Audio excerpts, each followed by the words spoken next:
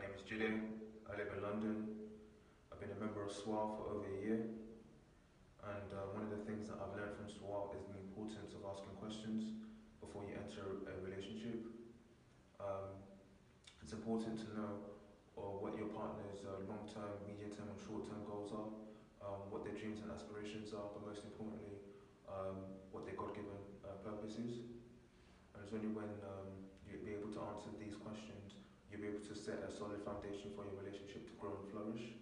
But most importantly, it's very um, necessary to be able to build yourself up as a single, to be able to be equipped with the knowledge and skills um, before you enter a relationship, during your relationship period, and um, God willing, after um, after marriage. And um, I feel like SWAL is a great organization to be able to give the singles the necessary information um, and